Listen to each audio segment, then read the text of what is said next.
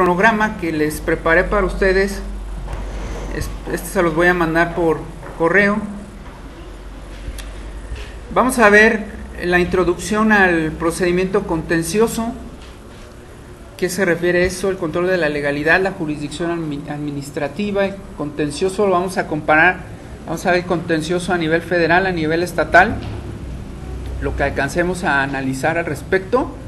Vamos a ver al Tribunal Federal de Justicia Fiscal y Administrativa, que es ese ente, ese órgano, cómo se compone. Vamos a ver la improcedencia, el sobreseimiento de este medio de defensa. Lo vamos a comparar con el recurso, con la improcedencia y sobreseimiento del recurso. Vamos a ver la procedencia, cuando procede. Vamos a, a ver la demanda. Vamos a hacer aquí una demanda.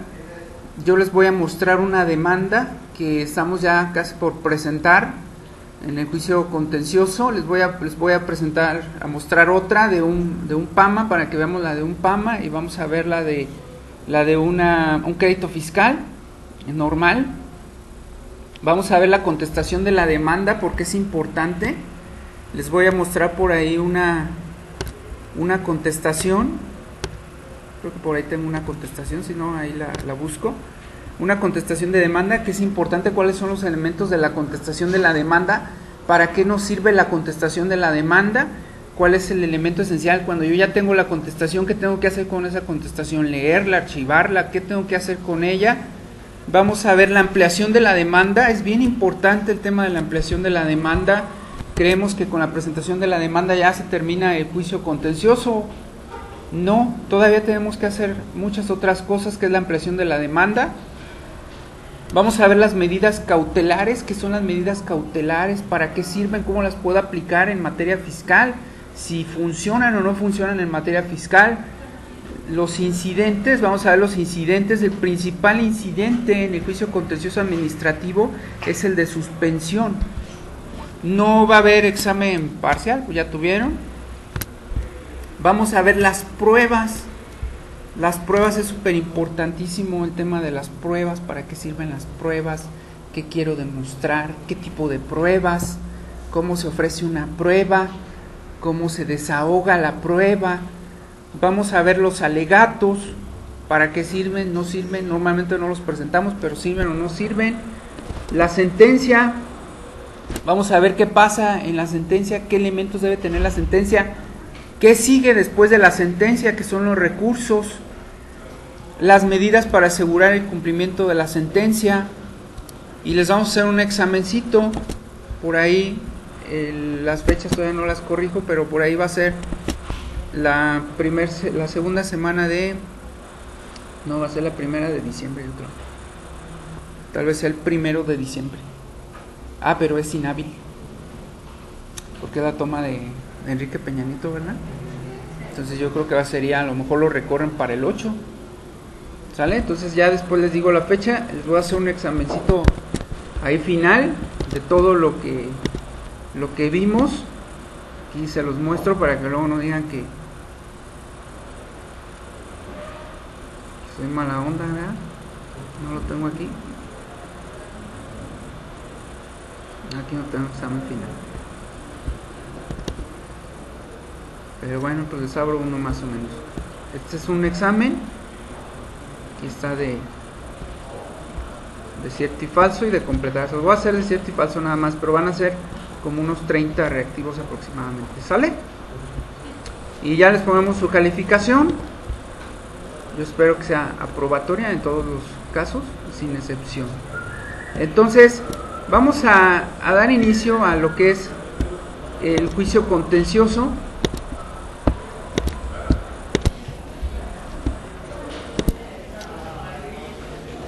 Para poder iniciar, necesito que ustedes tengan bien claros, bien concretos, unos términos que necesitamos saber, unas definiciones ¿Qué es procedimiento?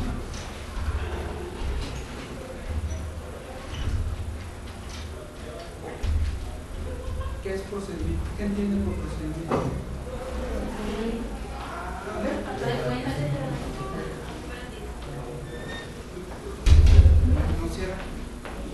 ¿Qué es procedimiento?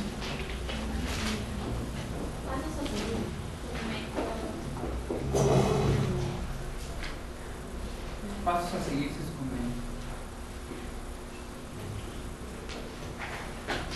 se El proceso son todos y aquellos conjuntos de actos que se desarrollan o que se llevan a cabo desde que yo presento la demanda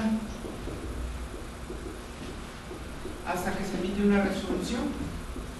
Y el procedimiento son las reglas que vamos a llevar en ese proceso. Entonces, aquí el término procedimiento nos indica que son todas las reglas que nosotros vamos a ver para que se pueda resolver el juicio contencioso administrativo. ¿Por qué contencioso? Porque hay una contienda, un pleito entre quién y quién es el pleito. Entre el contribuyente y la autoridad hay una contienda. En el recurso no hay contienda, porque es la misma autoridad la que emite la resolución, la que la resuelve, la que lo analiza. Ahí no hay contienda, no hay pleito. Ahí simplemente es una solicitud de revisión, pero aquí ya hay un pleito. Hay unas acciones y excepciones, así se llama en materia jurídica. Entonces tenemos la acción y tenemos la excepción. ¿Qué es la acción? Es la es el inicio del juicio. Y esa acción tiene en consecuencia una pretensión.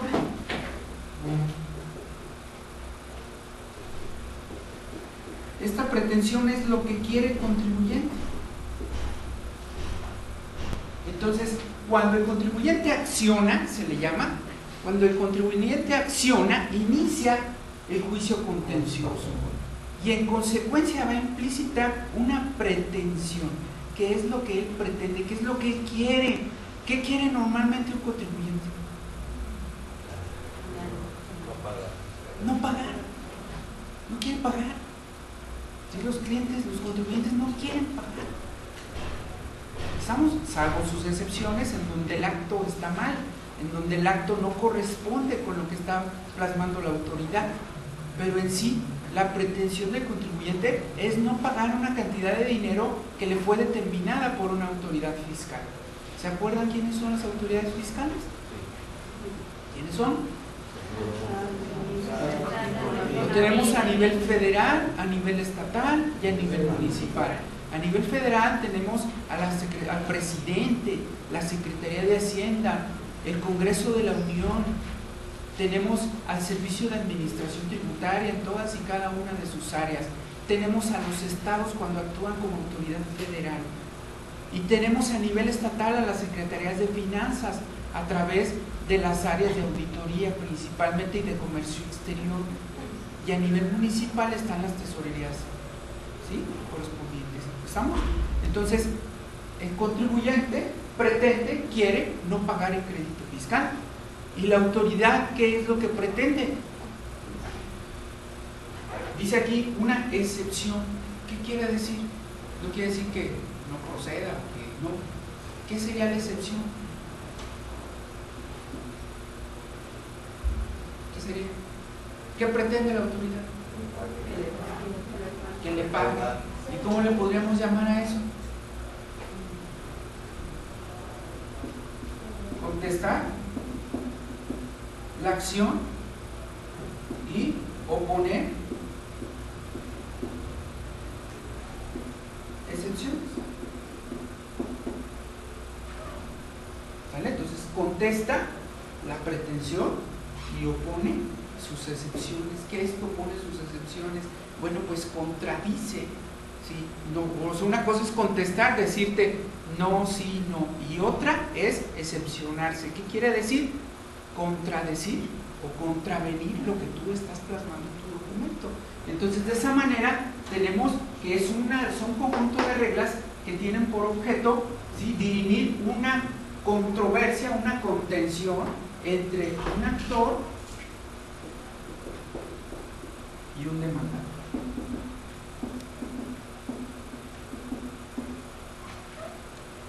qué se le llama administrativo?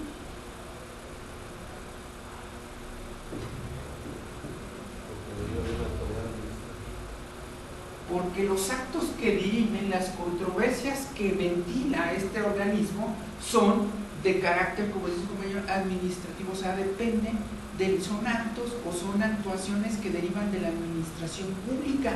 Por eso es un acto administrativo, por eso es un contencioso administrativo porque depende de la administración pública.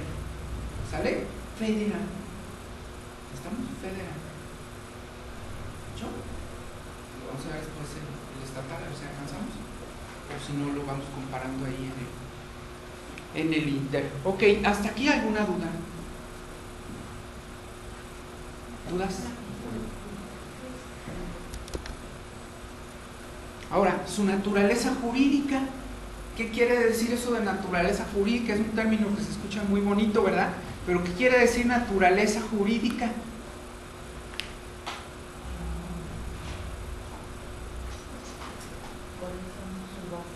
Sus bases jurídicas su origen jurídico, bueno, sus bases, su origen jurídico lo tienen en el sistema francés. El sistema francés establecía que el rey tenía que resolver los problemas que se, suscitaran entre el Estado y los particulares. En lugar de ventilarlos ante los tribunales, entonces el sistema francés dice, antes de irme a quemar a los tribunales, mejor aquí resolvemos esa controversia. Y planteó que fuera ese rey, ese soberano, el que resolviera el conflicto antes de ventilarlo ante otras instancias. ¿Sí? Entonces esa es la naturaleza de este juicio, ventilarlo. Entonces como era el mismo que lo resolvía, entonces ¿qué era lo que pasaba? Que este, que este soberano no tenía facultades para ejercer forzosamente sus determinaciones. ¿Sí? Porque él, mismo era el que resolvía y él, mismo era el que emitía el acto y era el mismo el que resolvía. Entonces no tenía facultad para ejecutar sus determinaciones. Entonces el Tribunal Federal de Justicia Fiscal Administrativa, que antes era Tribunal Fiscal, no tenía ¿sí? la facultad de hacer efectivas sus determinaciones. Eran meras recomendaciones, si así lo quieren ver hasta que se reformó la ley y le dieron facultades plenas para poder resolver las controversias y hacerlas efectivas. Tan es así que el tribunal tiene facultades para remover funcionarios públicos que no atiendan a sus determinaciones. Pero antes no lo tenía. Antes era un mero, eh, eh, una persona, un ente que sugería nada más lo que se tenía que hacer pero de ninguna manera tenía facultades para exigir el cumplimiento forzoso de sus determinaciones. Ahora ya cambió, ahora el funcionario que no cumpla se va. ¿Sí? Entonces esa es su naturaleza, ese es su origen. Ahora, ¿por qué juicio? Ya vimos lo de contencioso administrativo. ¿Por qué juicio? ¿Qué es un juicio?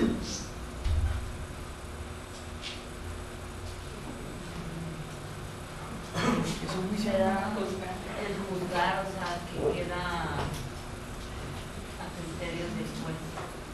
Pues, ¿alguien más? Sabe que viene bien desvelada, está carburando muy bien aquí la compañera. ¿Alguien más? Juicio. Una idea, una opinión respecto a algo Dicen que los jueces no tienen decisión, que la decisión la basan en la ley, en las disposiciones fiscales. ¿Sí? No es así, ya cambió. Se supone que la justicia era ciega y ya ven que por ahí están fotos de la diosa de la justicia con una venda tapada, ¿no? con una venda tapando los ojos. Bueno, pues la justicia ya no es ciega. Entonces el juez es ciego. ¿Verdad que no? pues está plenamente abierto a todas las consideraciones. Entonces, un juicio es un razonamiento aplicado a algo o a alguien. Entonces, a mí me pueden juiciar, me pueden dar un juicio sobre mí, alguien puede dar un juicio sobre ustedes. Es una opinión, una determinación. Si estamos hablando que es en el contencioso administrativo, entonces quedamos o consideramos que es una idea, es un sentido que se da al conflicto entonces el juicio es el razonamiento que se hace de la acción y de la pretensión. Y este juicio no lo lleva a cabo un juez, porque normalmente vemos por ahí en las novelas que ponen ahí un, señor juez y unos acusados y no sé qué, ¿verdad? ¿Sí? No lo lleva a cabo un juez, no son jueces. ¿sí? Los jueces dependen de otros organismos. Este señor se le llaman eh, magistrados, ¿sí? no son jueces en estricto sentido porque no dependen del poder judicial. El Tribunal, el Tribunal Federal de Justicia Fiscal Administrativa es un organismo autónomo que no depende ni del poder ejecutivo ni del poder judicial. Es un híbrido, está fuera de este tipo de organismos. Entonces, sin embargo, tiene la facultad de emitir opiniones, de emitir juicios, de emitir determinaciones respecto a los conflictos que le plantean los particulares. Entonces, son personas como nosotros, con estudios de fiscal, que emiten su opinión respecto a los planteamientos del actor y del demandado y emiten sus, determinaciones, que se les llama resoluciones. ¿Hasta aquí alguna duda? no traen borrador. ¿Alguna duda? Entonces, ¿qué hace el tribunal? Pues el tribunal lo que hace es que controla la legalidad. Esto también ya cambió. Por eso es bonito el fiscal, porque es tan cambiante y luego si se meten a estudiar después belleza, se van a perder de, lo bonito del fiscal, porque el fiscal está cambiando y cambiando y cambiando. Entonces constantemente tenemos que estar estudiando fiscal y fiscal y fiscal y fiscal, porque si no, nos quedamos atrás. Entonces dice aquí, el primer apartado, que está ahí, este, este punto que está aquí, dice que es control de la legalidad. ¿Sí se fija? ¿Qué es la legalidad?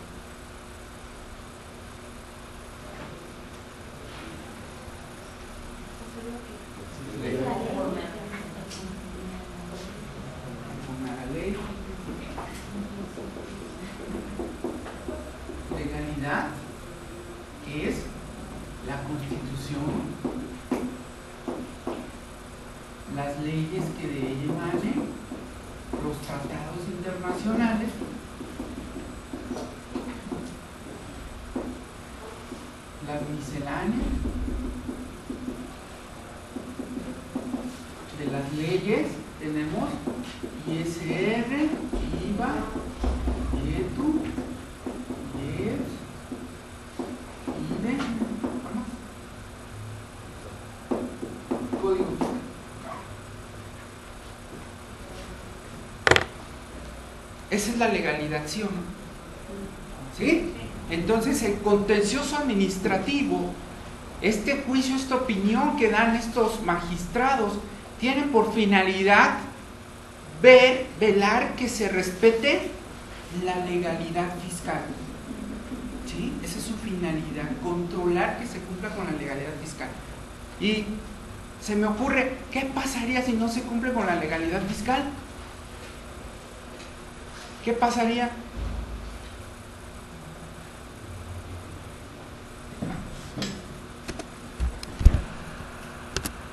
¿Qué pasa si yo, autoridad, no cumplo con la legalidad tributaria? ¿Qué pasa?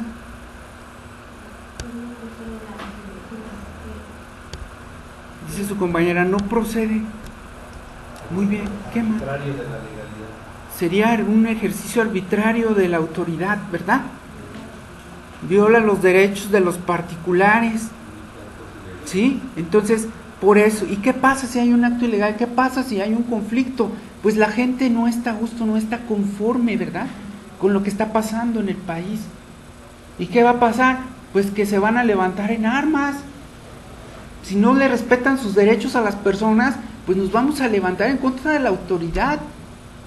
Entonces, por eso tiene que haber un organismo que de alguna manera nivele las actuaciones de las autoridades y que no sean tendientes a violentar los derechos de los particulares. ¿Sí? El siguiente semestre vamos a ver los derechos de los contribuyentes. Por ahora vamos a ver nada más el, el juicio contencioso. Entonces, las autoridades que damos el semestre pasado que deben actuar dentro del límite que marcan las leyes de tal manera que lo que no se prevea como regulado por las autoridades les estará prohibido. Este es el principio de legalidad. Nada más que acuérdense que el principio de legalidad ya cambió. El principio de legalidad normal dice que las autoridades solo pueden hacer lo que la ley les permite. Así dice el principio de legalidad. ¿En dónde está contenido? Está contenido en el artículo 14, párrafo segundo constitucional y en el 16, párrafo primero y en relación con el 31, fracción cuarta de nuestra Carta Magna. Ahí está el principio de legalidad. Las autoridades solo pueden hacer lo que la ley les diga. Entonces una, una autoridad está trabajando, está actuando, tiene que tomar la ley y ver qué le dice la ley. Y solo puede hacer lo que la misma dice. Si no está en la ley, no lo puede hacer. No lo puede hacer. Y tampoco puede hacer lo contrario a lo que está en la ley. Tienen cierto margen de actuación, no quiere decir así tan estricto. Tienen margen de actuación, la ley les da lo que se llama el, el criterio que puede tomar en algunos aspectos. O sea, sí tienen cierta libertad, pero siempre que no contravenga la legalidad. Sí, nada más que ese principio ya cambió. Ahora es que la autoridad puede hacer lo que se le da su regalada gana. ¿Sí? Esa es la verdad, esa es la realidad actual. Pero no estamos desprotegidos, no estamos en indefensión. Para eso está el juicio contencioso. Para eso está. Para que si la autoridad hace lo que se le da su gana, entonces nosotros como contribuyentes, como particulares afectados, vamos a acudir ante este organismo para que se controle la legalidad. ¿Sale? ¿Alguna duda? ¿No? Entonces, ese es el fin de contencioso, controlar los actos de las autoridades, verificar que se respete la ley y de ninguna manera permitir que el contribuyente sea violentado. Entonces, siempre nosotros nos vemos ante la autoridad como inferiores. Siempre nosotros decimos, yo contribuyente soy inferior a esa autoridad. Es mentira, es al revés. Nosotros estamos por encima de la autoridad. ¿Sí? Una autoridad normalmente, si ustedes ponen a ver, no tiene derechos, tiene facultades, tiene poder hacer y los particulares tenemos derechos. Entonces nosotros estamos por encima de la autoridad, nada más que siempre la vemos como que allá arriba en un pedestal, no. Si lo vamos a ir viendo y lo vamos a concluir el semestre que entra. Nosotros estamos por encima de la autoridad, en todos los ámbitos y en todos los aspectos. Nosotros valemos más que la autoridad. La autoridad existe porque existimos nosotros los contribuyentes. Si no, la autoridad no existiría. Entonces somos más importantes nosotros que cualquier ente tributario. ¿Estamos? Tan es así que los diputados, los senadores, que son nuestros representantes, son los que están moviendo todas las piezas del ajedrez. Entonces, porque son ciudadanos, son particulares que son los que mueven todo, no son las autoridades. ¿Estamos? Entonces, los particulares tenemos el derecho de que nos ha eliminado el acto cuando violenta el principio de legalidad. ¿Sale?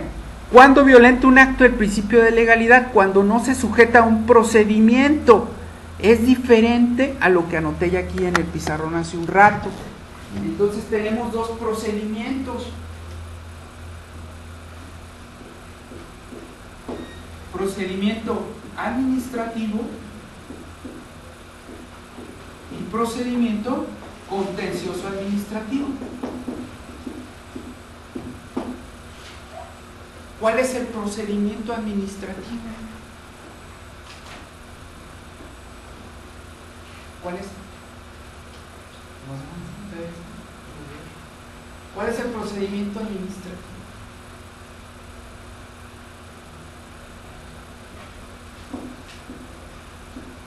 La visita, el PAN, el PAN, revisiones de gabinete, las multas,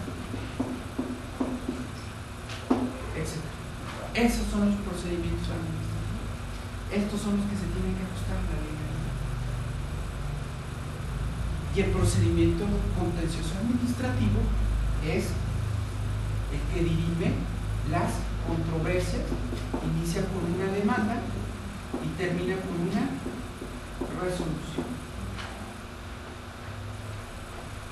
¿Sale? Y por ahí algunos tratadistas dicen que hay otro tipo de procedimiento administrativo, que es el que se lleva a cabo en las empresas. Una empresa su interior lleva a cabo procedimientos administrativos que derivan de la administración, si no de la administración pública, sino de la administración privada. Hay procedimientos administrativos que tienen que ver con el funcionamiento de las empresas. ¿Sale? Entonces, esos son los procedimientos administrativos. Entonces, ¿cuándo va a surgir? De aquí ya me voy a meter a esto. ¿Cuándo va a surgir el procedimiento contencioso? Cuando violente alguna, la, algún procedimiento administrativo. Y cuando inicia con, con la mano la. Cuando este acto administrativo, cualquiera, esté en contra de la legalidad.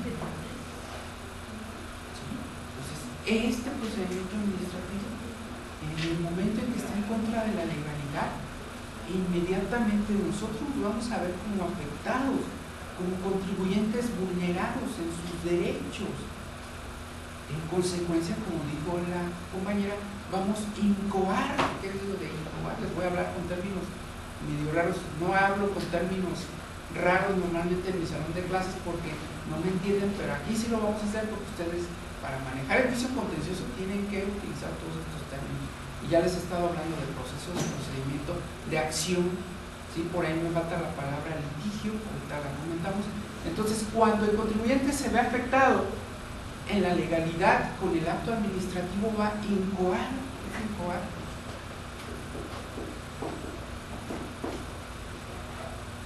Va a iniciar el juicio contencioso administrativo. ¿Estamos? ¿Sale?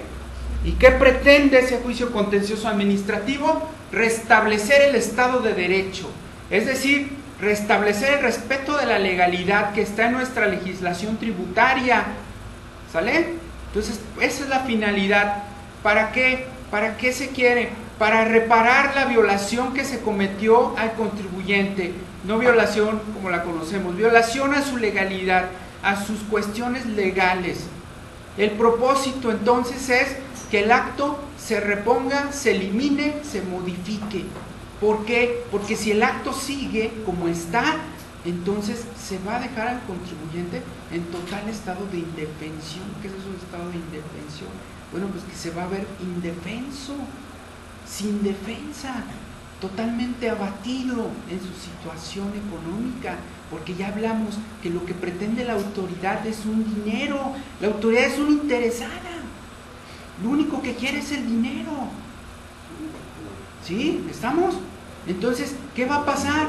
Que el contribuyente se va a ver tan violentado, tan afectado, porque igual el contribuyente lo que menos quiere es pagar dinero, que no, bueno, pagan otras tonterías, pero al fisco no lo quiere.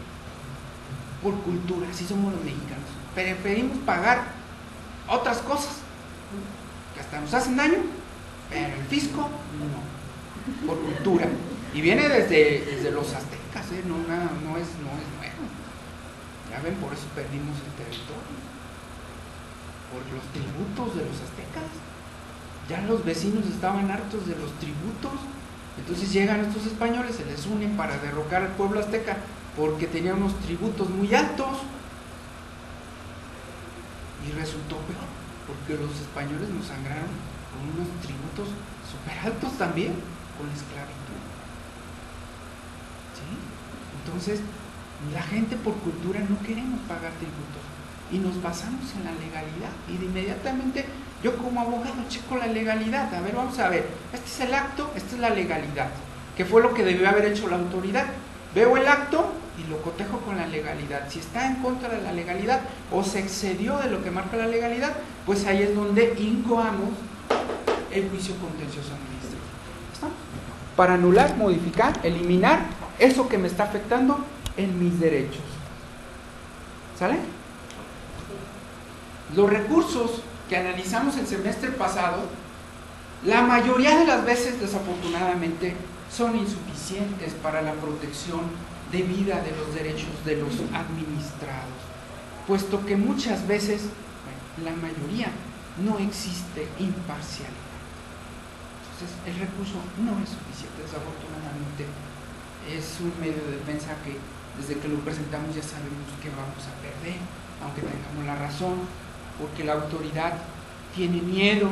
¿Tiene miedo de qué? Bueno, pues pónganse en el lugar de ellos. Son trabajadores, son empleados.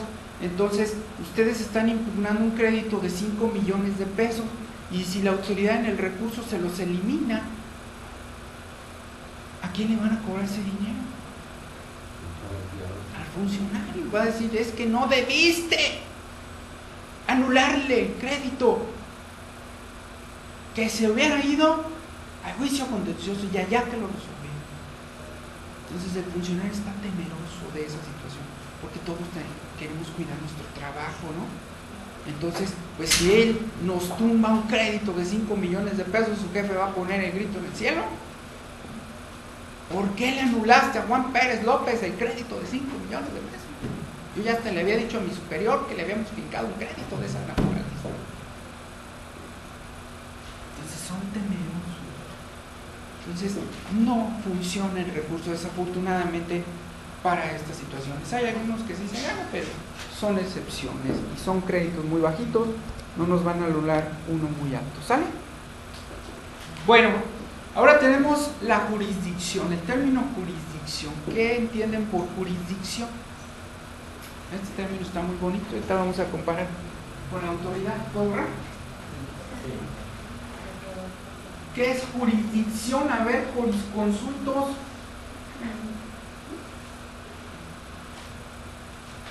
¿Qué es jurisdicción? ¿Es qué? Es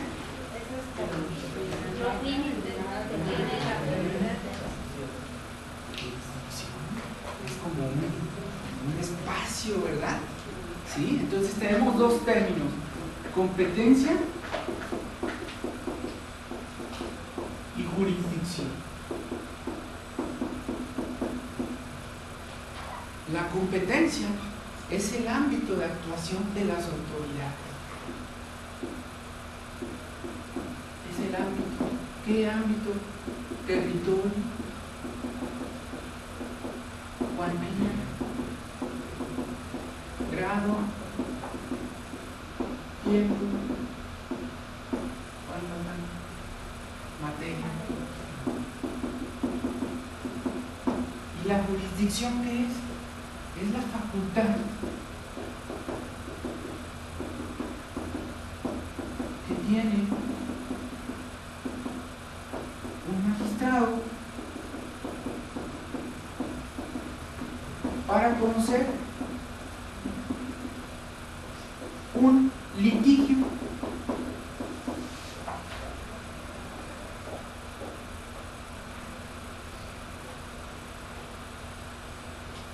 conocer y resolver.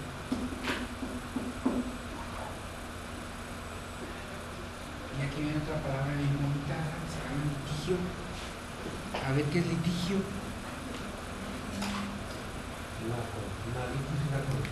Y es un pleito, un conflicto de intereses entre el actor y el demandado. Entonces es un pleito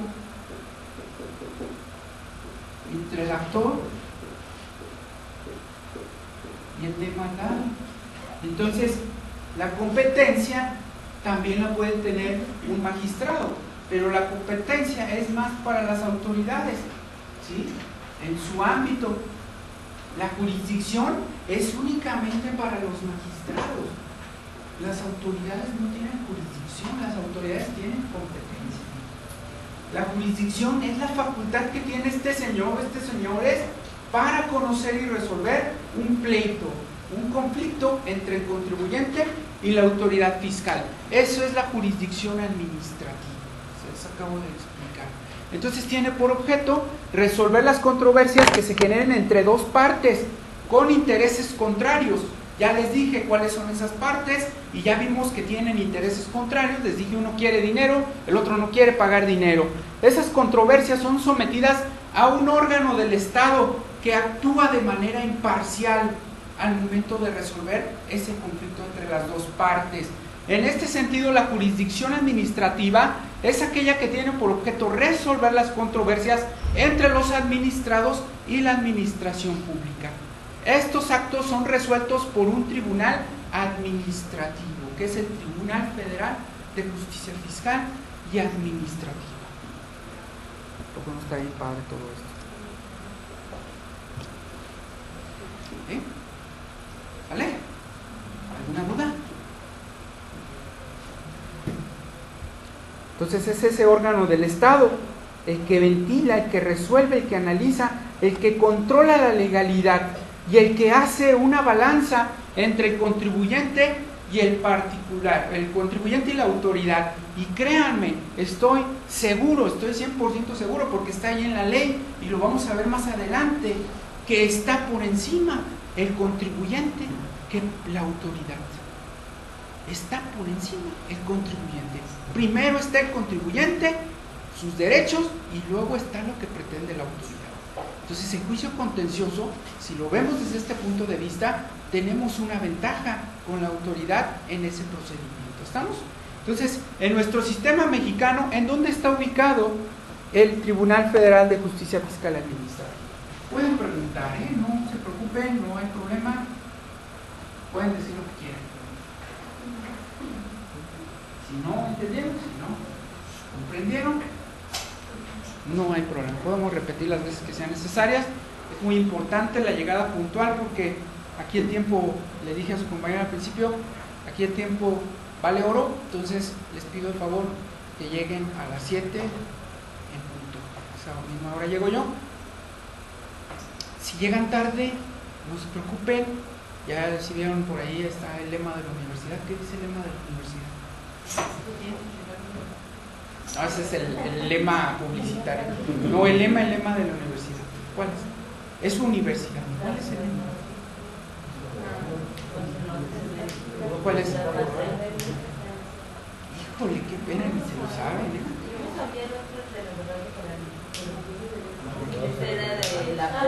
Es de otra universidad. No, es de la sea, de lo que es eh, prepa secundaria. Las puertas del saber nunca estarán cerradas. O al revés, ¿no? las puertas del saber siempre estarán abiertas. ¿Sí? Entonces, ustedes pueden llegar a la hora que se les pegue su regalada gana. Nada más que acuérdense, por favor, que nosotros iniciamos por mucho a las 7.05. ¿Sale? ¿Estamos? Ok, entonces, ¿en dónde está ubicado el Tribunal Federal de Justicia Fiscal Administrativa? En nuestro sistema jurídico mexicano.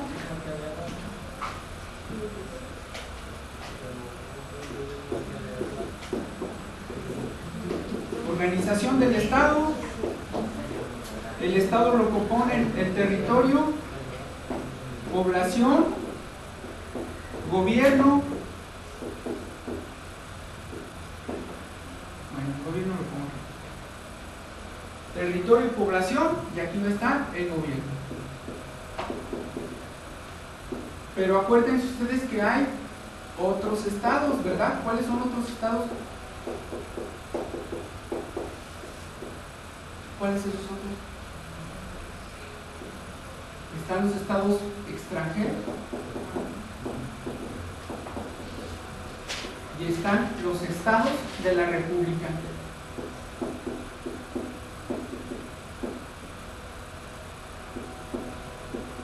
Se ve, ya no fue medio chafa.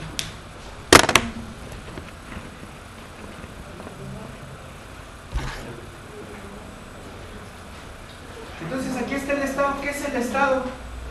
Es una persona jurídica colectiva de derecho público interno que actúa dentro de un territorio con una población y un gobierno. ¿Qué es eso? Bueno, pues el Estado es una organización de las personas con la finalidad de salvaguardar los intereses mutuos. El Estado, hay otros estados, el Estado lo componemos nosotros y está dentro de un territorio. Y está el gobierno. El gobierno es, en este caso, federal, ¿verdad? Lo compone el Ejecutivo, el Legislativo y el Judicial. entonces nosotros, conforme a las novelas que vemos por ahí, el Tribunal Federal estaría aquí en el Poder Judicial, ¿verdad? El, el Tribunal Contencioso, conforme a las novelas, pues, estaría en el Poder Judicial, ¿verdad? Pero les dije que era un sistema francés, en donde el sistema francés nos decía que depende del Poder Ejecutivo. Entonces, en un origen, el tribunal dependía del Ejecutivo, ahora ya no, ahora es autónomo. Entonces, tenemos Ejecutivo, Legislativo, Judicial y Tribunal Contencioso. El Tribunal Federal de Justicia Fiscal y Administrativa. Y antes dependía del Poder Ejecutivo. Pero fíjense, este tribunal no puede de ninguna manera, el tribunal no puede de, de ningún tipo, de ninguna naturaleza, no puede contravenir al Poder Ejecutivo. Aunque sea autónomo, está prohibido para el Tribunal Federal de Justicia Fiscal Administrativa contradecir al Poder Ejecutivo. ¿eh? No lo puede contradecir, ni al judicial. ¿Estamos? No los puede contradecir. Por ejemplo, el Ejecutivo establece reglamentos, reglamentos de las leyes. El Tribunal Federal de Justicia Fiscal Administrativa no puede atacar los reglamentos del Poder Ejecutivo. El Tribunal Federal de Justicia Fiscal Administrativa no puede estar en contra de los criterios del Poder Judicial.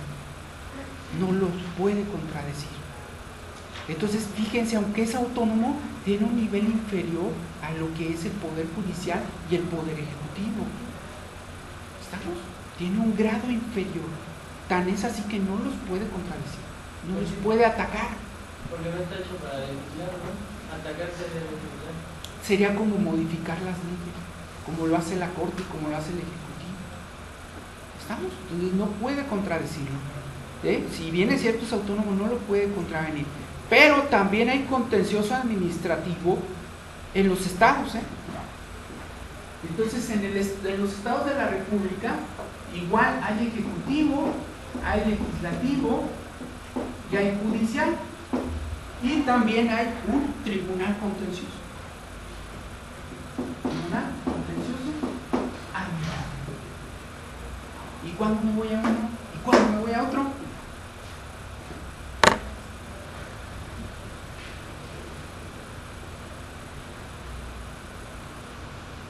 ¿Cuándo me voy a uno y cuándo voy a otro? Depende de la competencia de los. Ejemplo, por ejemplo, Cuando la Secretaría de Finanzas actúa propio derecho como gobierno del Estado. ejemplo así bien, ajá, muy bien, así ejemplo bien concreto. Impuesto cedular, me voy al tribunal contencioso. Impuesto sobre del Estado, impuesto sobre la renta, Que un predial. el predial municipal, ¿sí? O me puedo ir al contencioso. ¿Estamos? Entonces, ¿se fijan? Entonces, esa es su jurisdicción. Acuérdense, no se le llama en estricto sentido competencia, para que no se me vayan a confundir. Se le llama jurisdicción. Es otro término nuevo que ustedes ya están conociendo. Competencia, déjenselo a las autoridades. Jurisdicción se lo van a reservar ustedes a los órganos ¿sí? que resuelven los conflictos. Ellos tienen jurisdicción. Las autoridades tienen competencia. ¿Sale? Entonces, en el sistema mexicano estaba situado dentro del Poder Ejecutivo. Ya lo quitaron del Poder Ejecutivo. Sin embargo, el presidente sigue eh, sugiriendo los magistrados que tengan ahí su cargo por 15 años en este tribunal, pero es independiente del Poder Ejecutivo. Aunque el presidente designe a los magistrados y lo ratifiquen por ahí nuestro Congreso, siguen siendo autónomos, están siendo autónomos actualmente. ¿Sale? Ya lo dijimos, ahí está en el material, litigio, ya lo, ya lo explica, es- despejamos litigio, entonces contencioso es la contienda, litigio, pugna de intereses opuestos a través de un proceso judicial ante un tribunal administrativo que resuelve la controversia.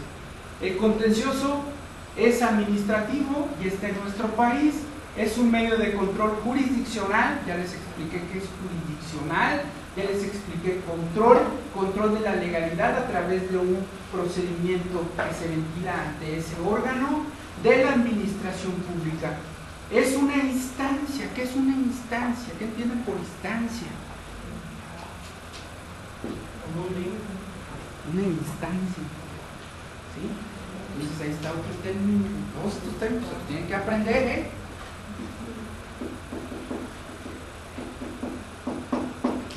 Es pedir. O sea, es una petición.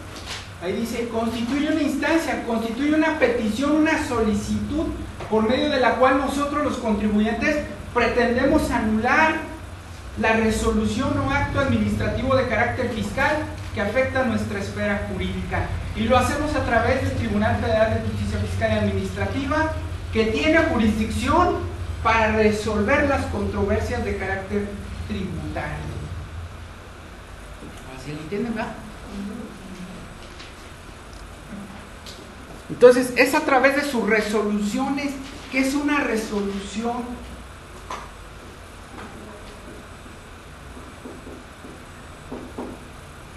que es una resolución, una determinación.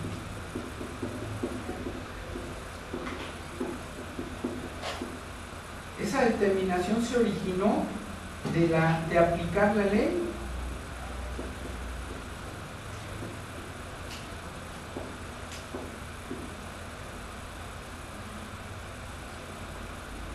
al caso concreto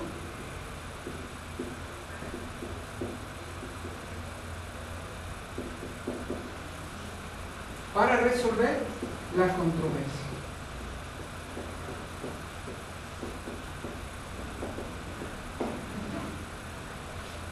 ¿Sale? Ya está otra definición de jurisdicción que dice el derecho. Es la definición técnica. Entonces, mediante una resolución, es decir, mediante una determinación donde se aplica la ley al caso planteado por el contribuyente y a la contestación de la autoridad, se resuelve la controversia. ¿Sale? Y una vez resuelta la controversia, se ejecuta, se hace cumplir, se tiene que obedecer. El mandato se tiene que cumplir, se tiene que obedecer. ¿Sale? Sentencia y resolución bueno, son la misma cosa para efectos de lo que estamos viendo en la clase. Y pues a través de esa sentencia o de esa resolución se nos reconoce un derecho, se nos condena a cumplir o se precisa en la forma en que vamos a cumplir alguna determinación. Y se hace a través de una resolución de carácter administrativo. ¿Alguna duda? Chicos y chicas, ¿listos? ¿Dudas? Y por ejemplo, una vez que, hay una sentencia del contencioso, se ordena a la autoridad Se le mandata. este, ¿Siempre notifica a la autoridad que ya está de acuerdo? ¿O si no, si no La autoridad tiene que, que notificar que ya cumplió. Y si no, quiere decir que va a Si no, quiere decir que no cumplió y la puede sancionar.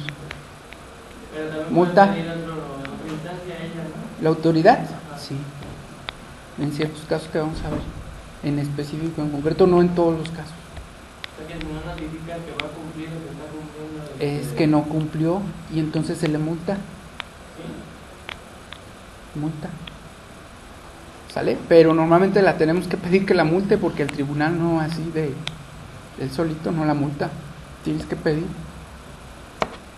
¿Sale? Notifica y al mismo tiempo se puede irse- Notifica y da tiempo para cumplir. Y si no cumple, pues tú le dices a la autoridad jurisdiccional no ha cumplido y la obliga a cumplir con multa.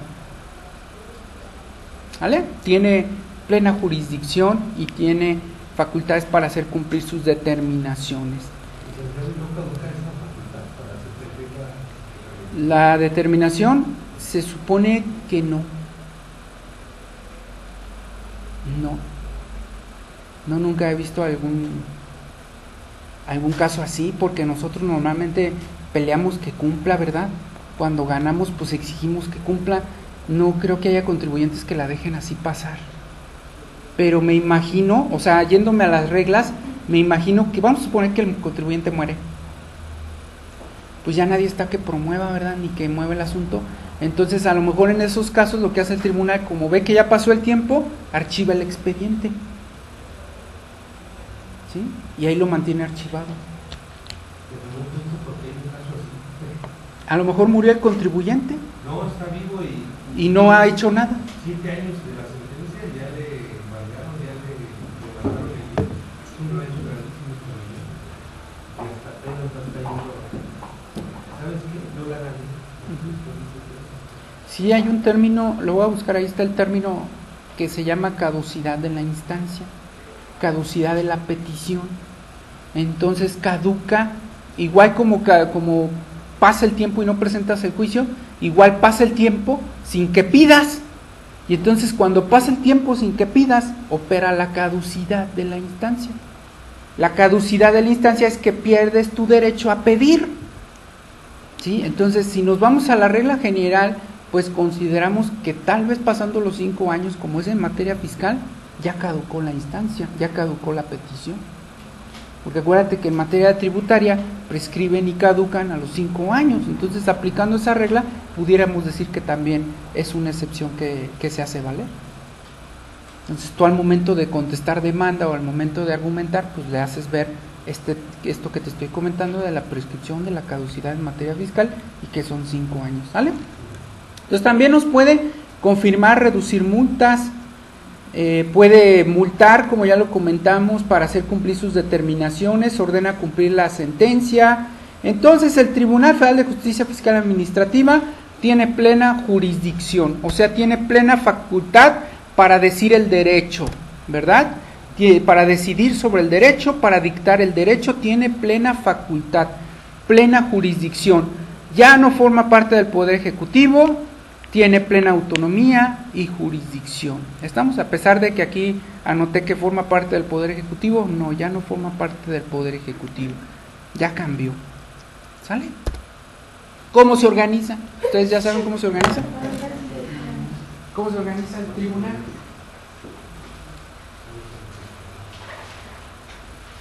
¿Cuál es su organización? De sala, En salas, usted es su compañero, en salas. Sala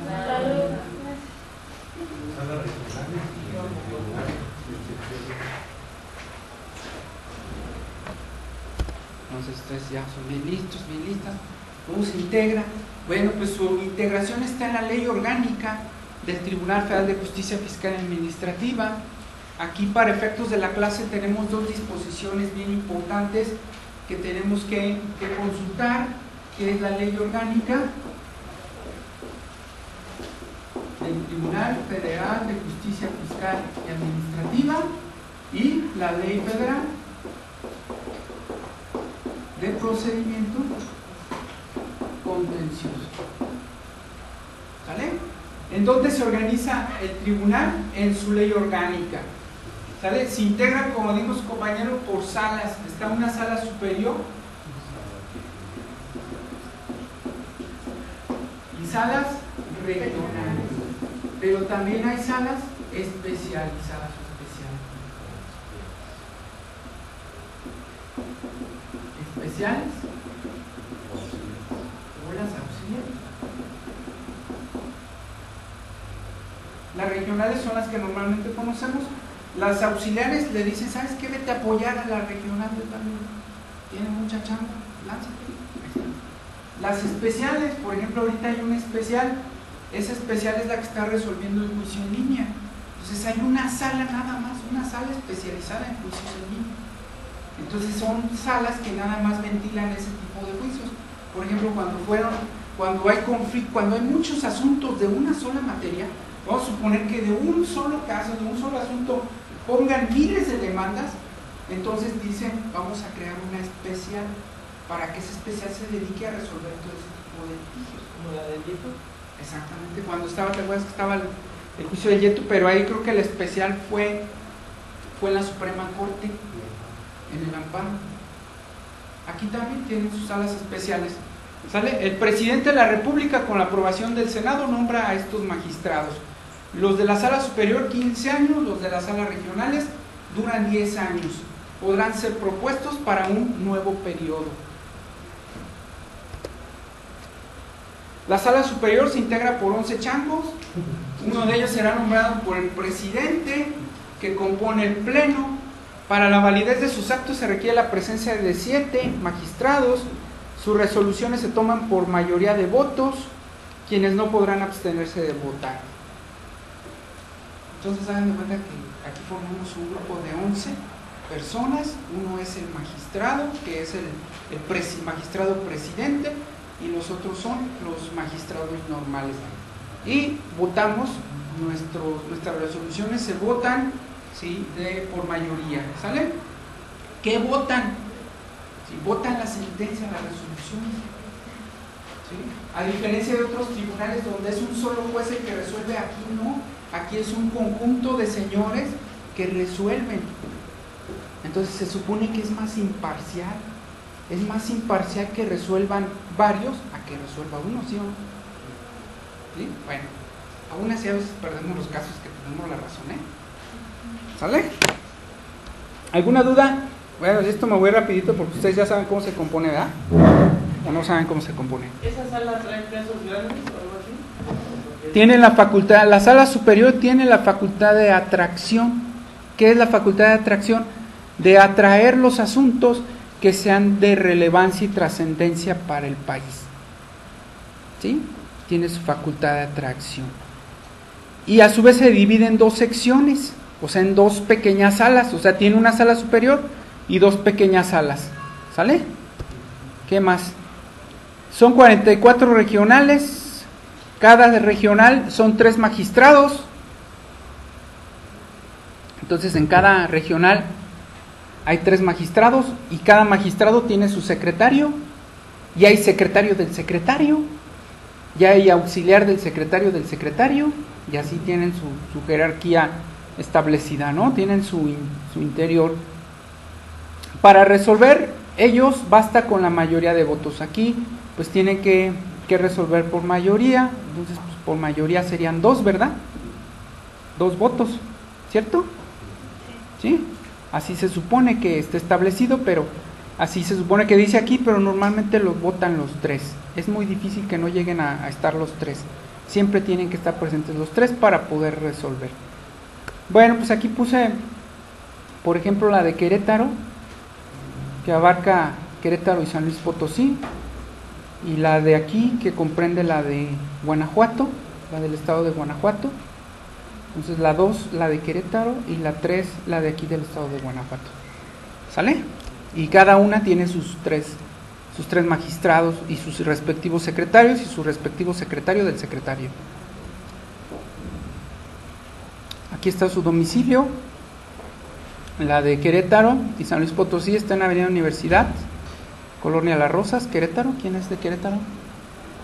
¿Sí la ubicas? ¿Sí? Y la de aquí de Guanajuato está acá en el eje J. Cloutier, eh, fracción segunda de sección de la Hacienda en la colonia San Juanico de esta ciudad, es la de Guanajuato, frente a los juzgados civiles exactamente. ¿Sale? ¿Dónde está el Oxxo? No, está más allá, ¿no? Ah, no, sí está en la esquina. Entonces su característica es que tiene un Oxxo. No, es que los Oxxos son como una, como una plaga, ¿no? Más bien, están en todos lados. ¿Sale?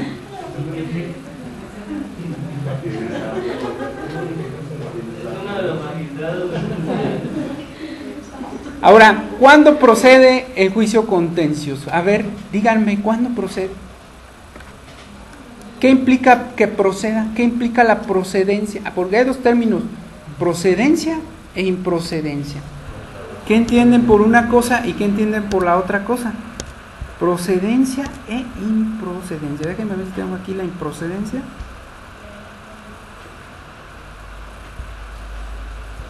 Porque creo que la tengo comparada.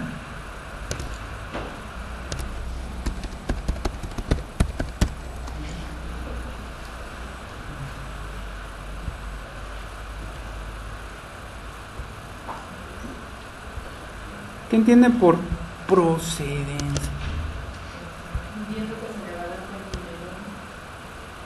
Continuidad.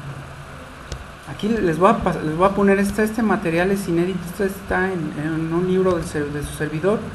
Aquí se los voy a poner, esto sí no se los voy a proporcionar. Lo vamos a comparar, vamos a ver, para que se acuerden del recurso, ¿va? Y vamos a ver lo del juicio.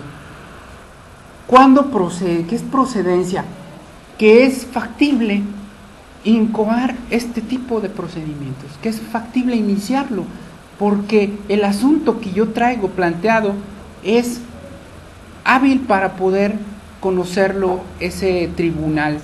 Y al contrario, en procedencia, es que por más que yo le diga tenga, tenga, analízalo, analícelo, el juez va a cerrar los ojos, el magistrado va a cerrar los ojos y va a decir, no, es que es improcedente, no procede que yo lo vea, ni siquiera te lo voy a recibir. ¿Sí? No procede, entonces es lo contrario, entonces procede es que lo puedo analizar, que puede ser viable o factible. Entonces, por ejemplo, en el recurso, rápidamente aquí lo vamos a comparar, el recurso procede en contra de determinaciones de contribuciones, accesorios o aprovechamientos. Si no entienden un término me dicen, ¿eh? Creo que ya, ya por ahí lo, lo entienden. Las negativas de devolución de cantidades, resoluciones de autoridades aduaneras, resoluciones de carácter definitivo que causen agravios al particular, excepto las aclaraciones y las condonaciones de multas. Y también acuérdense que por ahí las consultas tampoco se supone que son impugnables. ¿Sale? Eh, las resoluciones administrativas de carácter individual tampoco. Entonces, resoluciones definitivas que causen agravio, excepto las que están aquí, que son las aclaraciones, resoluciones de carácter individual no favorables y las condonaciones de multas. Las exigencias de créditos fiscales que se han extinguido, eso ya pasó el tiempo y me están cobrando un crédito, es recurso. Actos que exijan créditos fiscales que se han extinguido, igual cuando me exijan el pago de créditos fiscales, actos derivados de esos créditos fiscales extintos también. Créditos que se pretendan controvertir porque su monto es inferior al determinado, o sea, cuando me están cobrando más de lo debido, ¿verdad? O al revés, y siempre digo que las dos partes proceden, proceden en medios de defensa cuando me cobran más y cuando me cobran menos, ¿se supone o no? A ver, díganme.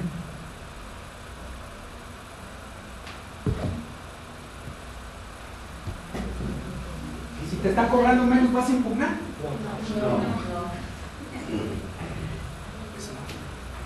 ¿Sale? Entonces, ¿qué dice ahí? Se pretenden controvertir porque su monto es inferior al determinado por la autoridad fiscal federal. Y así sucesivamente. Cobros en exceso, obvio que sí. Actos derivados del PAE, también. Actos eh, cuando le embargan a un tercero. Actos que el avalúo, el avalúo de los bienes también es impugnable en el recurso. ¿Y qué más? Certificados de origen, cuotas compensatorias, Contra también. el recurso de todo eso, ¿no? ¿Contra el recurso de todo eso? Contra la resolución. Contra resoluciones o determinaciones definitivas que te afecten a tus intereses particulares, porque acuérdense que hay resoluciones que todavía no son definitivas. Contra esas no procede el recurso. ¿Sale? Ahora, el juicio contencioso lo vamos a comparar. Actos administrativos. Ya vimos que es un acto administrativo, es una determinación de la autoridad fiscal.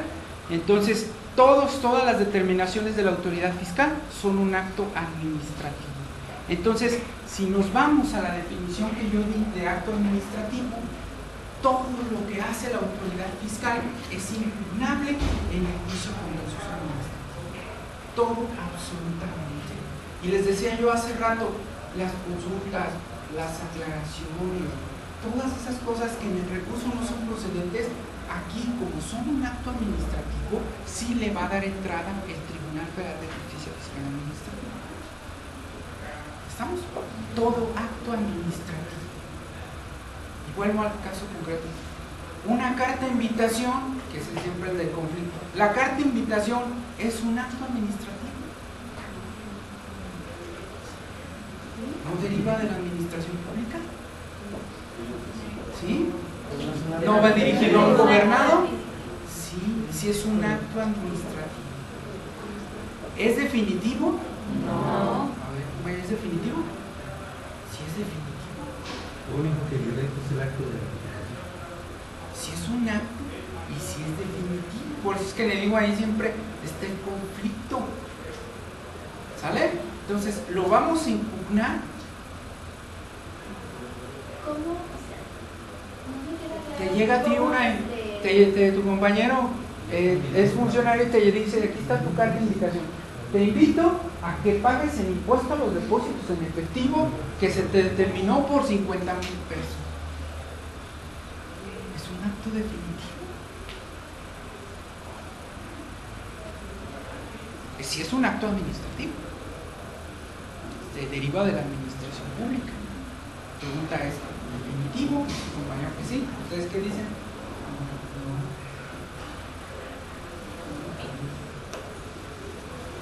¿Qué dicen?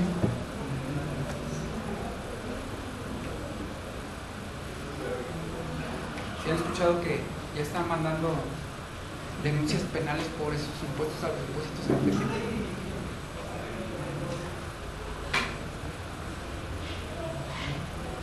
Entonces, ¿es definitivo o no? Es definitivo. Una carta de invitación es un acto definitivo. Que nos dejan en estado de indefensión. Eso lo tienes que impugnar. Pero si es un acto definitivo.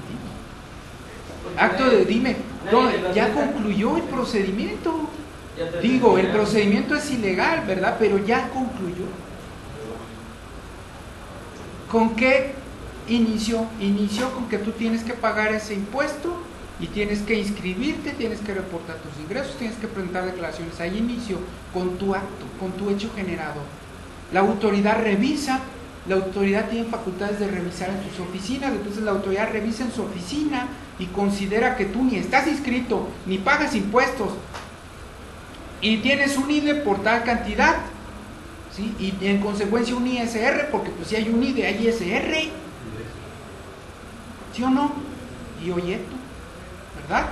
Entonces, ya es definitivo. Ya es definitivo.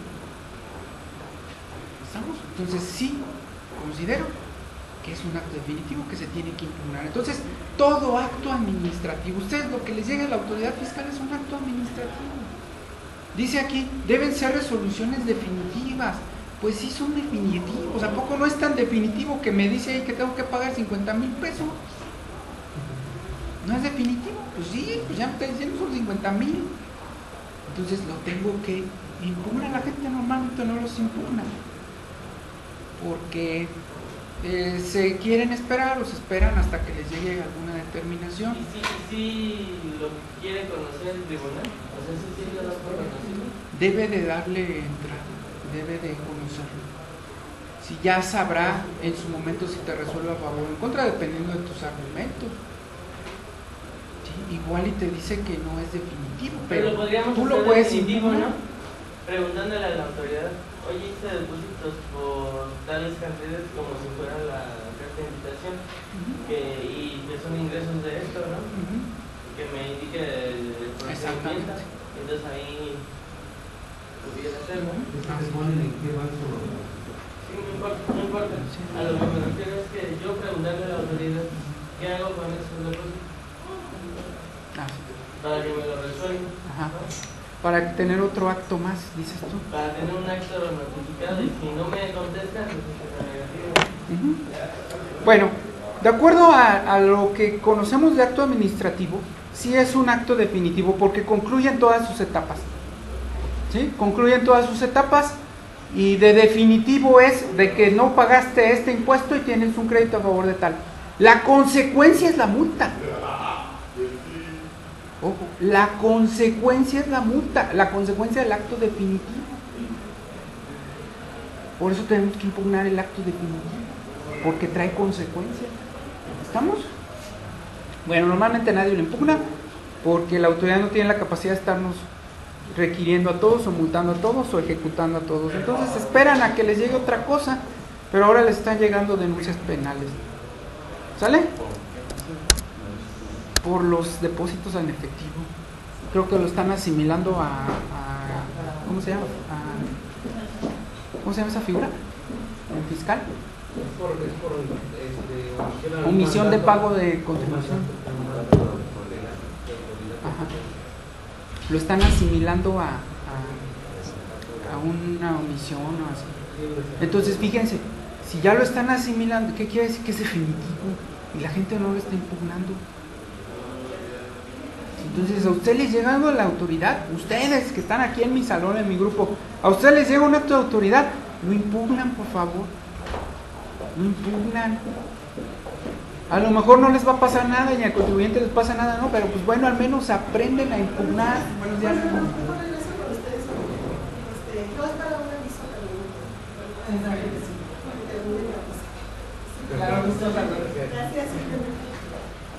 Estamos entonces, ustedes me lo impugnan, no importa. Ustedes hacen el procedimiento porque, bueno, por lo menos para que practiquen, ¿verdad? Si no les va a pasar nada. Pero ustedes lo impugnan. ¿Sí? Ustedes en cuanto les llega algo. Los decretos, ¿qué es un decreto? ¿Sí? Un decreto fiscal, ¿cuál es?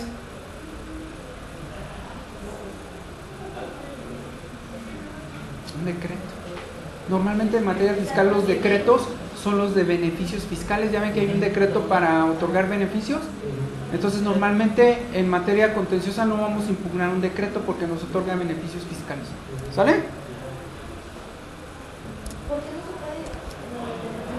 ¿Lo de qué? Porque en materia fiscal me- normalmente los decretos que saca son beneficios fiscales. Ah, ah, bueno, bueno, bueno. Sí, sí, sí.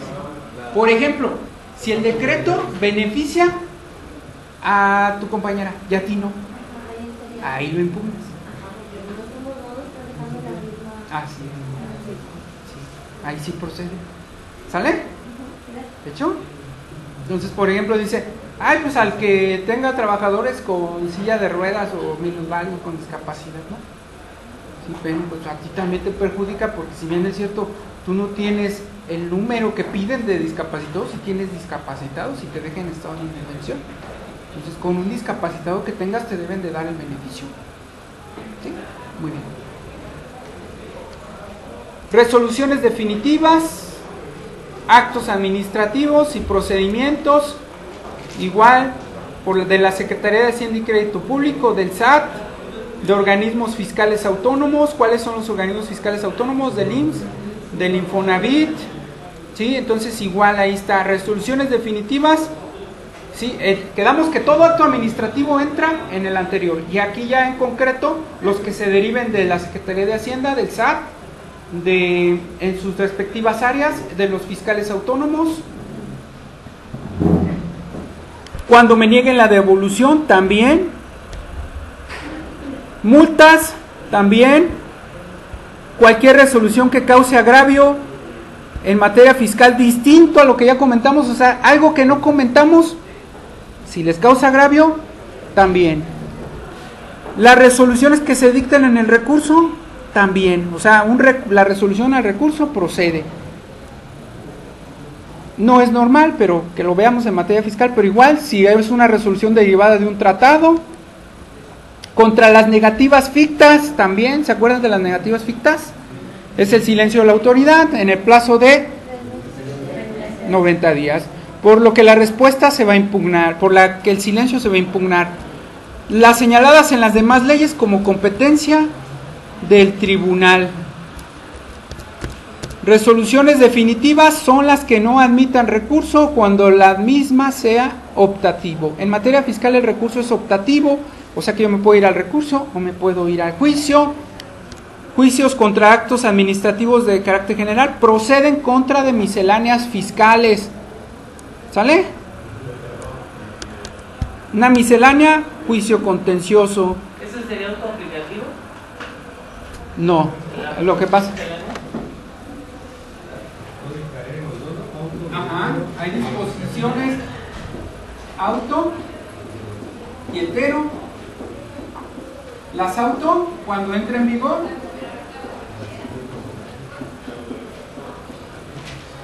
y la otra es cuando aplico la disposición. ¿Cuándo la aplico? Cuando pago impuestos. Entonces yo puedo impugn- impugnar la miscelánea o la ley o el reglamento cuando sea auto, es decir, cuando entre en vigor y me afecte, o hasta que pago impuestos, que es cuando ya materialmente me causa la violación correspondiente. ¿Sale? Y al siguiente semestre les voy a poner un caso concreto que es el impuesto al Internet, que yo inventé. Y ahí en el impuesto al Internet vamos a ver cómo impugnarlo. ¿Sale?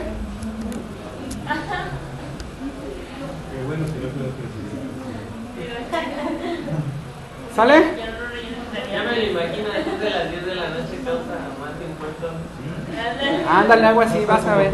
Ya nadie traía Face ni nada. Ese yo lo inventé, pregúntenle a sus compañeros, pero ya lo impugnamos y lo ganaron sus compañeros. ¿Sale? Entonces, ahí está. Así es de acuerdo. También procede en contra del juicio de lesividad. ¿Qué es el juicio de lesividad? Cuando yo le otorgo un beneficio a su, a su compañero, ¿sabes qué? Tú no entras. Interrumpo tres minutos. Bueno, dos y medio. Adelante. Este, buenos días. Este,